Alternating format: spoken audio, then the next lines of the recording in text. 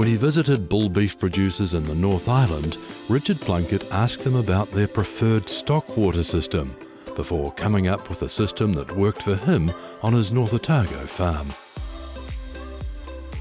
Every different property we went to had a different take on water supply.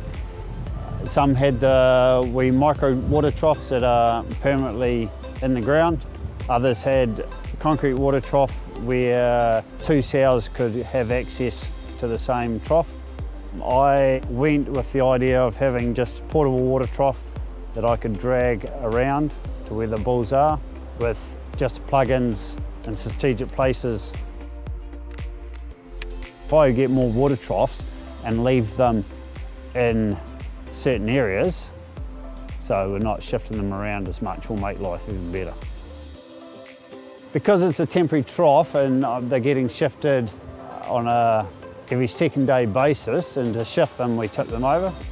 So there's always clean water supply for them.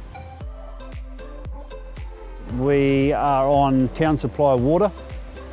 So in the middle of summer when a lot of the town are irrigating their gardens, our pressure reduces quite dramatically. So by having a trough, we've always got that back up.